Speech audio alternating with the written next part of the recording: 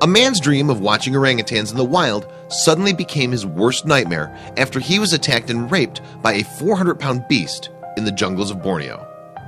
Zach O'Reilly, a 26-year-old ecologist from Ireland, presently studying biology at Dublin City University, and a Greenpeace activist, had always wanted to see orangutans in their natural habitat. In fact, he's an advocate against the palm oil industry, which is a huge threat to the endangered species.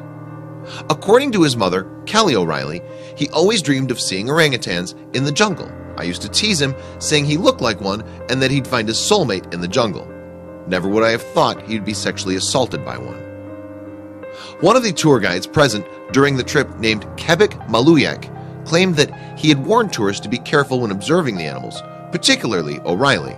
He told local reporters, I specifically told him to wear a hat and hide his orange hair, that it could entice the orangutans. I'm not surprised of what has happened. I warned him many times. He did not listen. He added, It's very dangerous for people with orange hair. The males get very excited. A male followed us deep into the jungle many kilometers. He was very aggressive. There's nothing I could do. According to a spokeswoman, the attack was an isolated incident, claiming it was the first time an orangutan had physically assaulted a tourist. We're deeply horrified and saddened by the whole affair. We've offered the young victim a free tour if he ever wishes to come back again and will provide increased security for our travelers in the future.